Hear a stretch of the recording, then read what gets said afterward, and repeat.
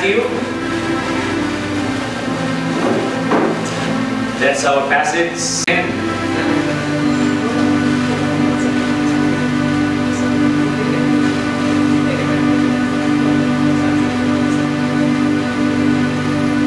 Praise God.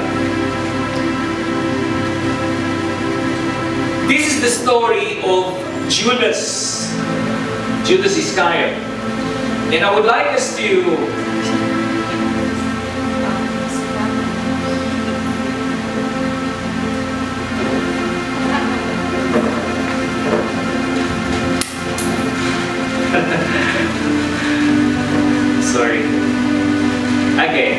I would like us to dwell in on uh okay.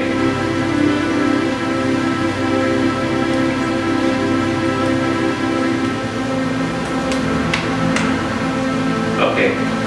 I'd like us to read this. Matthew 27 verses 3 to 10. Okay, here we go. Then when Judas, his betrayer, saw that Jesus was condemned, he changed his mind, brought back the 30 pieces of silver to the chief priests and elders, saying, I have sinned by betraying innocent blood. They said, What is that to us? See to yourself. See to yourself.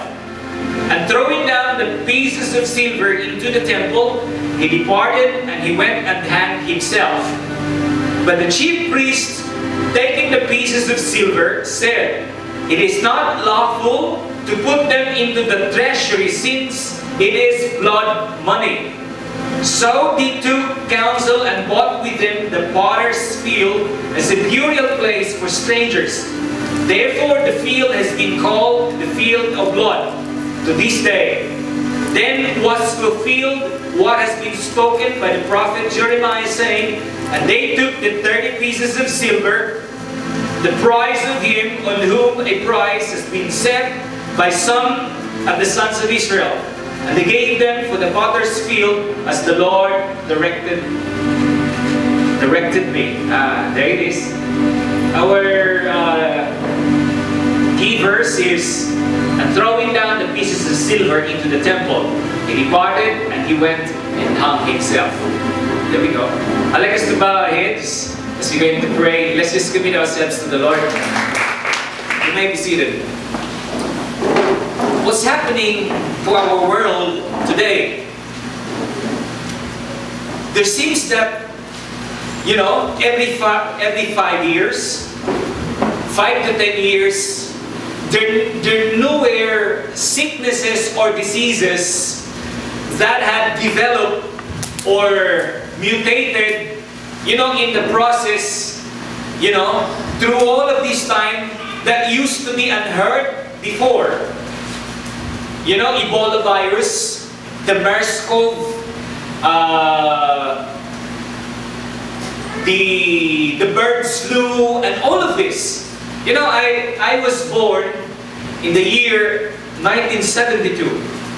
You know, in the early and in the late 70s, I had already my knowledge.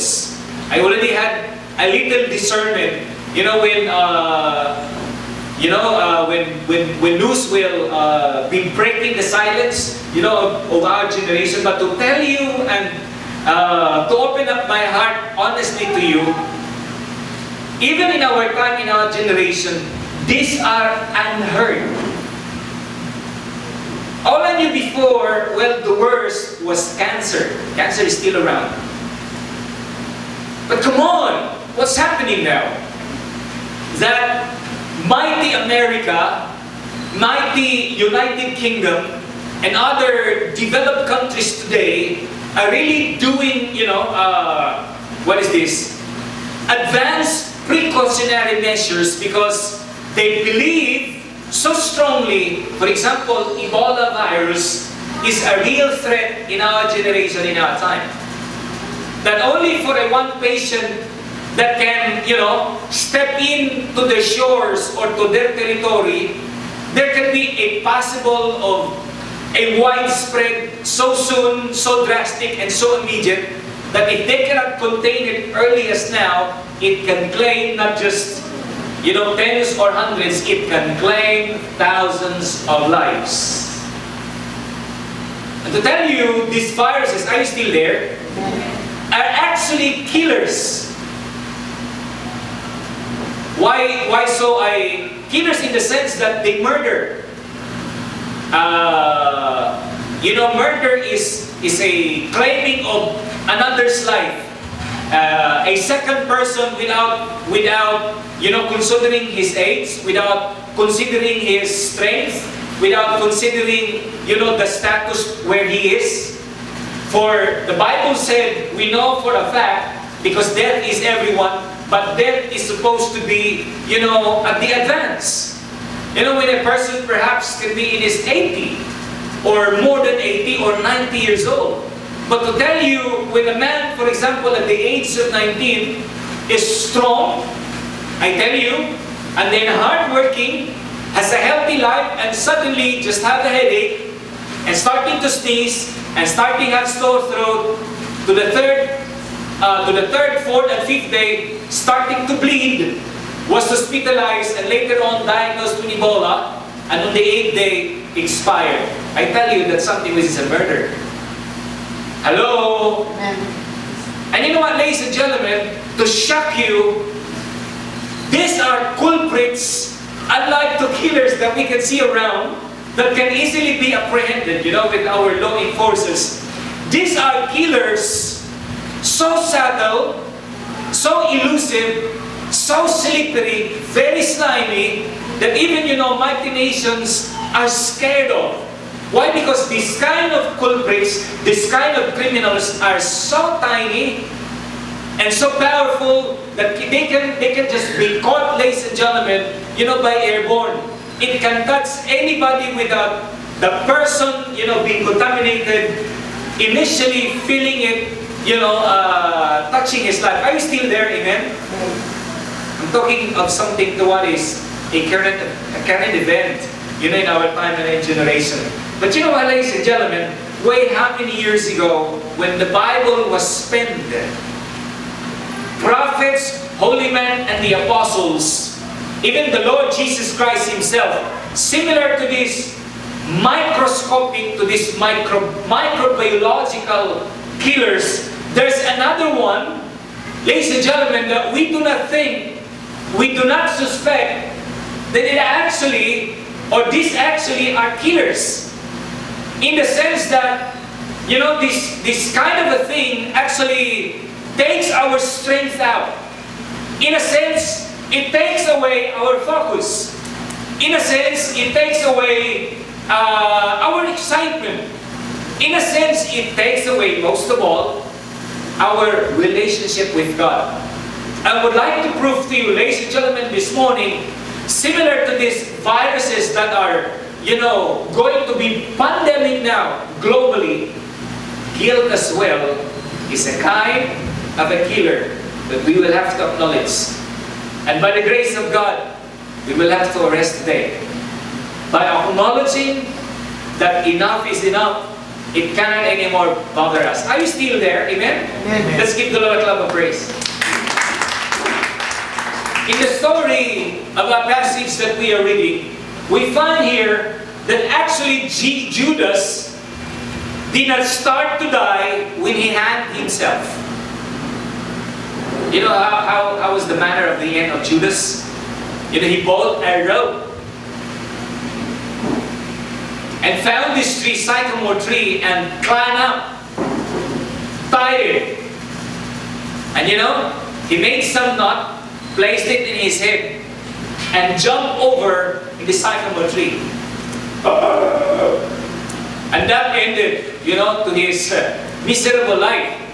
Because he, he, got, he was so heavy. By the way, it suggests that uh, Judas was, was a stout man. He was a fat person. Are, are you there? Amen? Uh, the rope that he used wasn't so proportionate to the build of his body that, you know, it, it felt that his body was heavier than the rope that he fell from the tree. But the Bible said when his body touched the ground, his body disintegrated, having his entrails or his intestines, you know, exposed, you know, uh, coming out. You know, dogs around started to eat his flesh and his entrails. I tell you, if there is such, if there is such a death, it is one of the most horrible one. Are you still with me? Amen. Now, reading the passage, we are finding that Judas' death actually started when guilt crept in inside of him. When guilt arrested his emotions, I like us to say the word guilt. Guilt.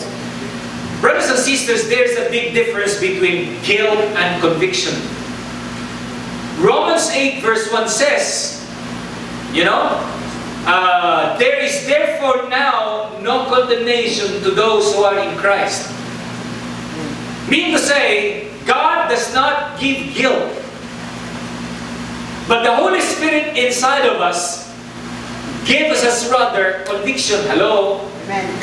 When we commit wrong, when we commit mistakes, when we commit sin, the Holy Spirit, like a red light, you know, to give us such an emotions, a feeling, that what we call, as the Bible said, conviction. Say the word conviction. Conviction. Guilt is a different one. Because guilt, though, is a sense, it is a feeling, but it will give you much or rather, uh, of a condemnation, much rather of a, what is this, uh, a pointing finger, telling you you are not, you are not that good. You, you blew up things. And uh, what is this? You are not enough. Are you still there, amen? Amen. Now answer me with your heart. Ladies and gentlemen, there are how many of us within this week or within how many how many months already there are some things in your life where every single day those things because you know you committed wrong are haunting you every day that's what you call guilt hello amen uh, Nas has a classmate. Nas, by the way, is now a grade one. And uh, I'm not seeing this boy, but Sister Delia, in uh, some afternoon, would go home and tell me, this boy is really good in school. But you know what? Kids as they are, they, they cannot avoid really to commit wrong when uh, they perform their, uh, their quizzes or their exams. And that is why this boy, in several occasions, because he's really one, you know, one of the best in school, cannot cannot have perfect, you know, perfect grades. Cannot have 100% grades. And you know what? This boy later, after seeing his grades, would retreat, you know, and stay at the back and start to, uh, what is this? Hit his head, hurt himself. And he would say, oh, I'm really that idiot. I'm really that fool. I'm really not that, I'm really not that good. Imagine, six-year-old. Why? Because later, we learned he's the only one in the family. The parents pressured him too much. Parents do have such expectation telling him every time, each time, you must a 100%. Because if you cannot, you're really not that good. Hello, amen? Amen. By the way, parents who are parents here, let us motivate, you know, our children. Not squeeze them, we're squeezing them, leading them already to death. Hello? Being, being children of God, God gifted us with His wisdom, brilliance, and excep- exceptional uh, favor. But you know what? Human as we are, we have our limitations. Are you there? Amen? Amen. So that boy, it's a classic example of a guilt, ladies and gentlemen, that is killing him. And you know what? As Sister Delia is sizing the boy, you know, the guilt in him is, start, is starting to eat his psychological being.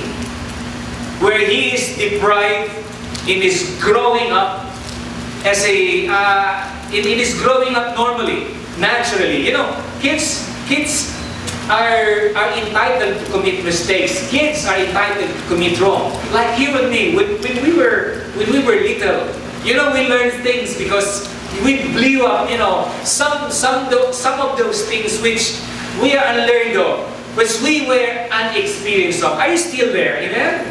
Let's give the Lord a clap of praise. I like us to say that line, guilt is a killer. Guilt is a killer. Look to the next person beside you. Tell the person, you arrest that guilt today. Come on. Now, one thing more. Guilt is a symptom of man's broken relationship with his Creator. What was the first reaction of Adam and Eve? Eve, uh, when, when there is uncontinuity, when something is not uh, the one expected to happen as, as you are expecting them, who is the leader whether he is the one who committed it or not? He must be willing to say and stand and, and apologize. Are you still there? You know, in the group? By the way, when, when uh, we become uh, accountable for a certain unit, it can be in the church, it can be in the office, it can be, you know, in our schools. When we commit mistake and then you are the leader, be willing to humbly and stand and say, well, we apologize.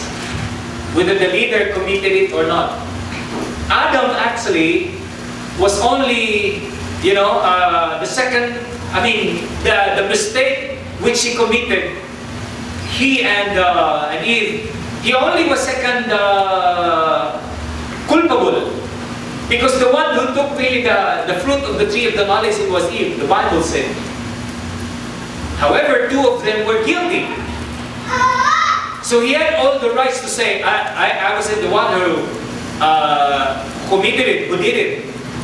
He was a little right to say, Eve. However, God has a more expectation of him being the head of the family. Are you still there, amen? Being the father. His right word to say at that moment was, My God, we blew up things, we disobey you.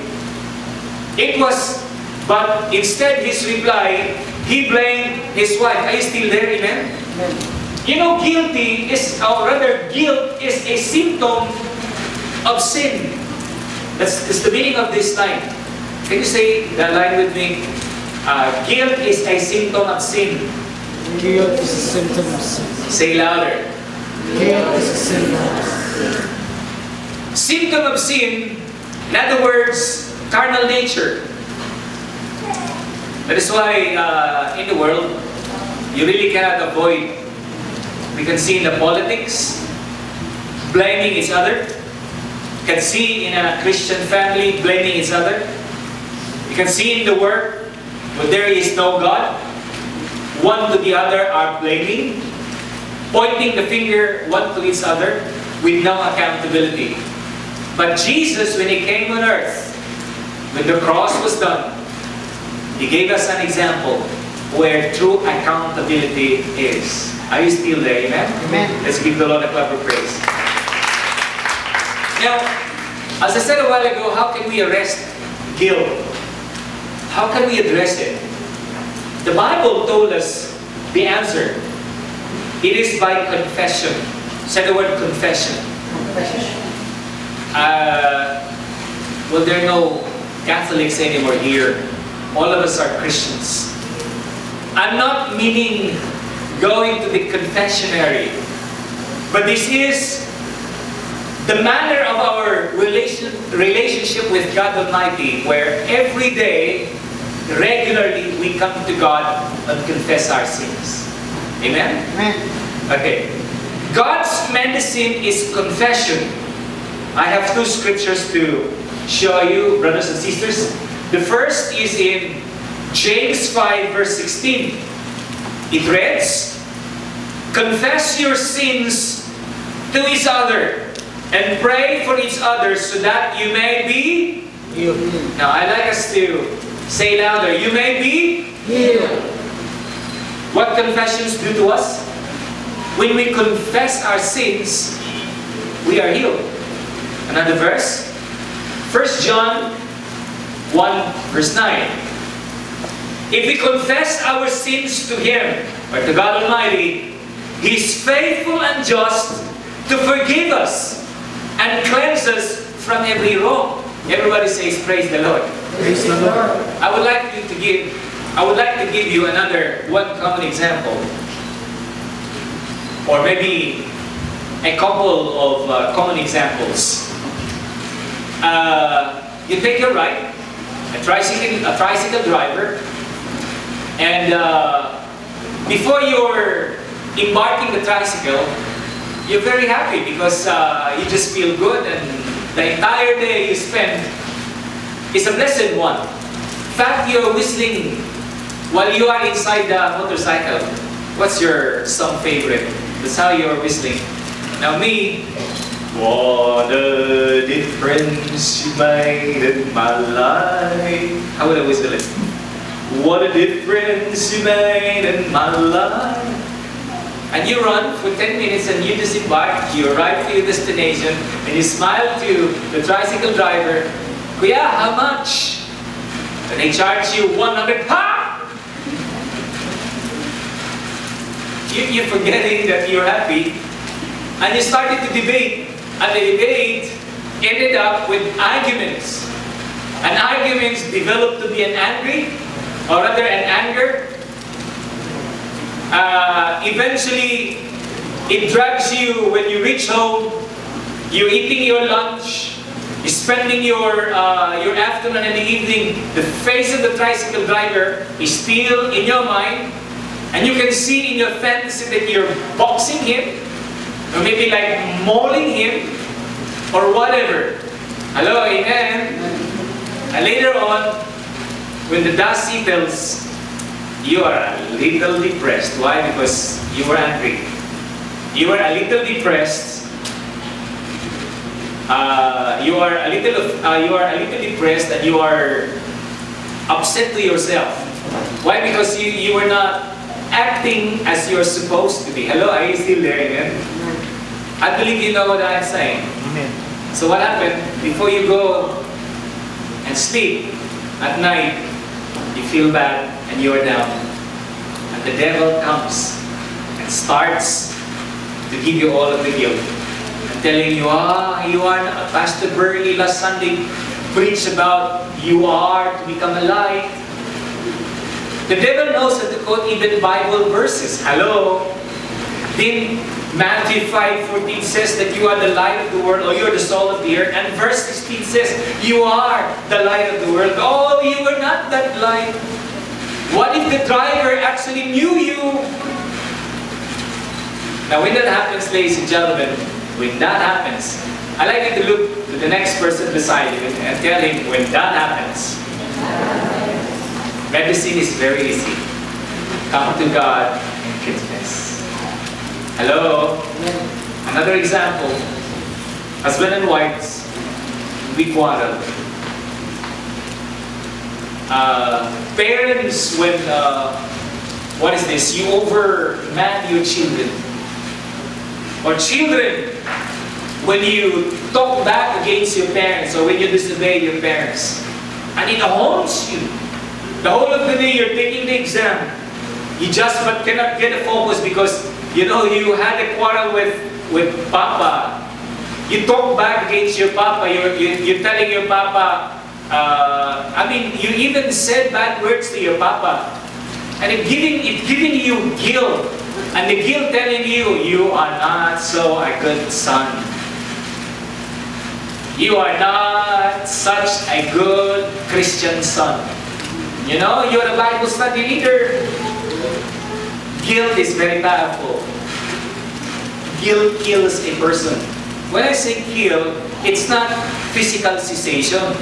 Killing is rendering you helpless, rendering you without strength, rendering you without exercising your supposed power and authority as a child of God. Are you with me? Amen? So when that happens, what's the medicine?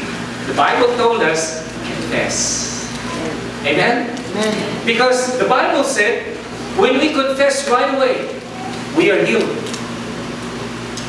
The Bible said, when we confess our sins, God is always faithful and just to forgive us and to cleanse us from all of our wrongs. And you know what? This is not to overemphasize the Bible, but we cannot help ourselves, but this is the truth. Every single sin we commit, when we come to God and ask for forgiveness, the Lord forgives. For there are only one sin that cannot be forgiven, the Bible said. It is the blasphemy of the Holy Spirit. Why it becomes to be unforgivable? Because when you blaspheme the Holy Spirit, the Holy Spirit leaves. Hello? I'd like you to place your palm to your heart and say, the Holy Spirit leads in here. Come on. The Holy Spirit lives. In that place.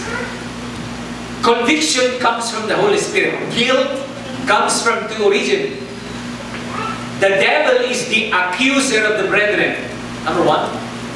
And our carnality, our flesh, as well, gives us guilt. But the Holy Spirit gives us conviction. Say the word conviction. So when the Holy Spirit is gone, the Holy Spirit left or leaves, no more conviction. That's when you feel like, oh, it's just all right.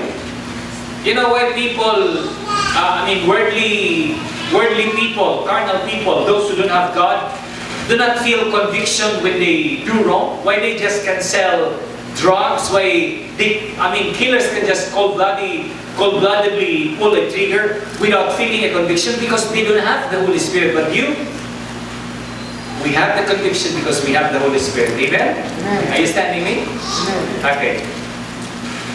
Another. Why confession is very necessary? I'd like to present to you three. Number one, because confession is a release. Say the word release. Release. We don't ask forgiveness only to be forgiven. Because forgiveness is a release of our soul from the sinis- sinis- sinister called guilt. Now, I'd like to present to you, ladies and gentlemen, a truth from the Bible. And this is a bombshell, meaning this is a shock to many. Now listen, are you ready? Amen. Don't you know the Lord already did forgive us even way before we asked forgiveness? Hello? Amen. The Lord has already forgiven us even before we were born. How did Jesus pleaded at the cross?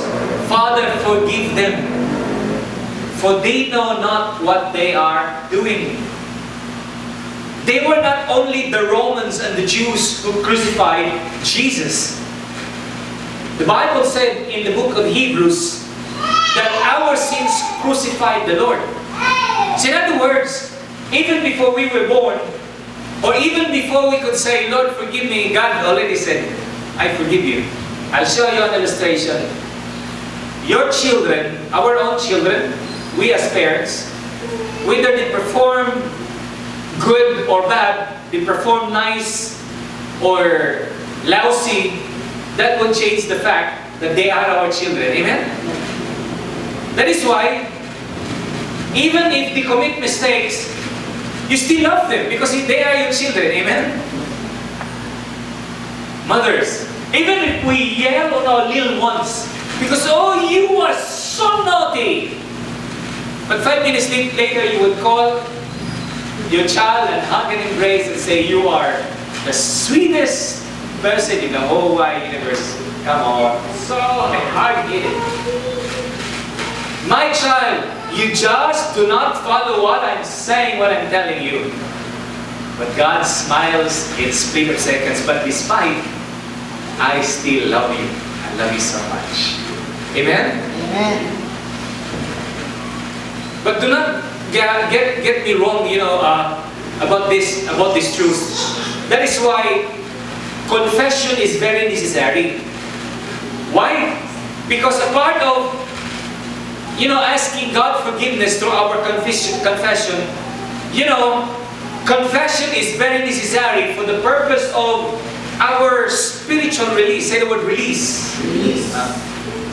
Guilt will stay there and to as long inside of you and until you ask God forgiveness.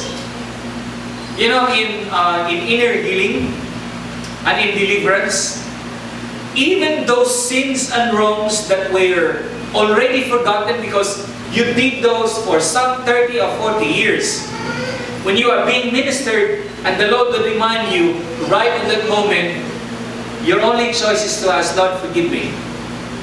I helped a pastor friend.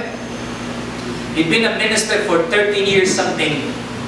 And on the inner healing, the Lord reminded him, because he came from a barrio, they had, they had this group together of some young men. And you know what they would do? They would steal chickens of their neighbors. Hello? And as I was praying for this pastor, we were surrounded with, I don't know, a dozen of other pastors. And, and I asked him, or rather encouraged him, confess, Pastor, uh, that uh, mistake or that wrong, that sin before the Lord. So, you know, humbly and uh, because confession, the essence of it is humility. Say the word humility. The Lord raises up the humble, but what He said? Huh? The proud, the Lord abases down. So in the presence of many, He said, Lord, forgive me because uh, I would I would do it in design. Ginoo, pasayo ako kay kawakan ko manok. And you know what? Very embarrassing and such a trivial one in that moment. But later there was a release. Say the word, there was a release. Okay. In Proverbs 28, verse 13, the Bible said, He that covers his sin shall not prosper. Would you like to prosper? Amen? Amen. But whoso confesses and forsakes them shall have mercy. When we always say, I didn't do it, I didn't do it, we will not prosper. But you know what? When we confess, after confession is forsaking, uh, repentance, 180 degrees, turning, turning about, turning around from sin. And the Bible said, we receive mercy. Are, are we understanding? Is it making sense? Amen? Amen. Okay. Number two is confession must be done daily. Say the word daily. Daily. Uh, when I was a sacristan, uh, priest would ask the you know faithfuls, Catholic faithfuls, as they would enter uh, the big church, and mass is mass was about to start. Priest would say, "When was the last time you confessed?" Now we're not Catholics. Uh, it's not. I mean, the the uh, the concept of confession I'm sharing to you is one which is biblical, not Catholic one. But ask this inside your heart: When was the last time you confessed? Confession ought to be daily. Say the word daily. Daily. I'll give you a scripture. In Matthew 6, 11 to 12, the Lord says, Ah, this is the Lord's Prayer. Give us this day our daily bread. And forgive us our debts as we also have forgiven our debtors. You know what? The Lord loves to give us needs every day. Why? Because as we have needs every day, we continue to ask Him every day. Why? Because when the Lord will only give us trials, when, all, when we only will be needy once in 10 years, we only will ask God every 10 years. But if it's daily, oh, I love to see you, child, to ask me, Lord, please provide my needs. Lord, I'm calling on you. Huh? And the Lord will come and rescue you. We are to ask daily. And you know what? The next line after asking for the daily bread is our forgiveness. And our forgiveness to other offenders. So, confession, ladies and gentlemen, is something which we must do every day. Amen? Uh, most of us, before we sleep, or Instead, after we wake up in the morning, uh, we instill this kind of values to our children since they were little. Even up to now, when uh, you know they grow up, Nas is a funny, funny boy because before he would sleep, he would either go to his mother or to me and ask, "Please, Papa, lead me for prayer." And we'd always, without without fail, to ask this, uh, you know, two things. And he would always, please lead me that I cannot go to hell. And when rapture comes, I can join with them.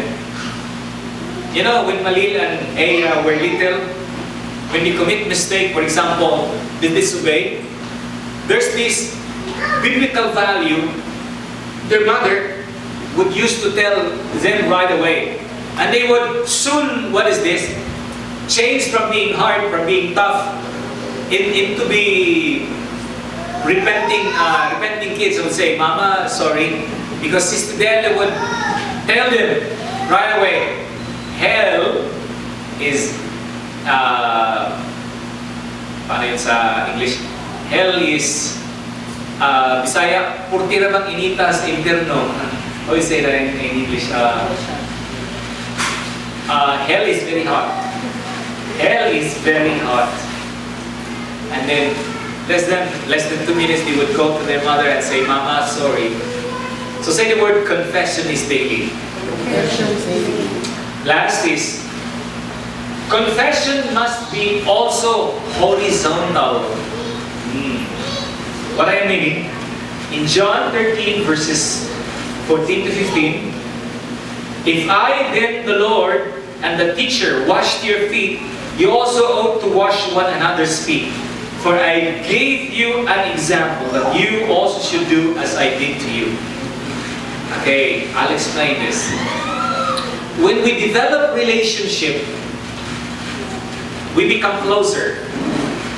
Why? Because when we were not brothers and sisters, when we were not friends, when we were not yet this close, when we were in distance, you cannot see me exposed. And vice versa. But you know what? When we are closer, you can already see the minute details and my flows. And I, me as well to you. And you know what? As, as we develop relationship, we cannot avoid brothers and sisters uh, to fail one another sometimes. Say the word sometimes. Sometimes. Not all the time, huh? Look to the next person beside you say, not all the time. Not all the time. For example, when you are together, it's just all right to, you know, tell us some jokes. But very, very, be very careful because some of our jokes are known to us are leading already, already to hurting a brother, hurting a sister. Especially know if the person you are dealing with is sensitive, sensitive like me. but thanks God, I, I give Him praise because God will have to train me. God will have to train me. But in the house, my, uh, my family would have to give me extra understanding. And uh, so that's it. You know when you are joking each other, the brother, the sister is hurt, and she will not, or he will not start, or he will not anymore talk. And then you say, hey, what happened to you? Okay it's just alright. It's just alright. Then, that brother or that sister will not anymore come for the following week's practice, or following day's practice, for the Friday's, uh, what is this, discipleship, and then to the Sunday celebration. Well, maybe he's only sick, but it gets to be two weeks, it gets to be three weeks, it gets to be one month. What happened? And we pay visitations. What, what's up, brother? What's up, sister? And then the brother, the sister opens up. Actually, the problem had been existing already for more than one month. That's why, ladies and gentlemen, it is very necessary to be confessing one another's uh, one another's fault. You know what? Uh, Kuya Ian, you know what? Kuya, Kuya Lance, you know what? Tita Dels, you know what? Uh, Pastor Berlie, I was offended. I was offended of you. Why? Because when you ate the cake, you did not slice me. slice. I mean, this this did not happen. I'm just telling. I'm just telling, relating to you an example where we ought to be forgiving one to the other. Amen. Amen. But after forgiveness, do not laugh about the weakness of the brother, laugh about the weakness of the sister. Embrace and say, I forgive you. And then say as well in response, forgive me because I did not see, I did not know, I did not, uh, I did not feel it at first. What is this? That it was wrong. It's all right to apologize. That one of the marks of strength is you know how to apologize. One of the best marks of a leader is the ability to say sorry. Now, ladies and gentlemen, uh, you receive what you receive what the Lord is giving us this morning, amen. So can you arrest guilt now, amen? Huh? And let's let's arrest the killer, amen. Let not that guilt steal your joy. Let not that guilt steal your passion in the service, in the service to God. As like Judas, do not allow it to lead you to buy a rope and hang yourself. Hallelujah. I'd like us to all stand and we will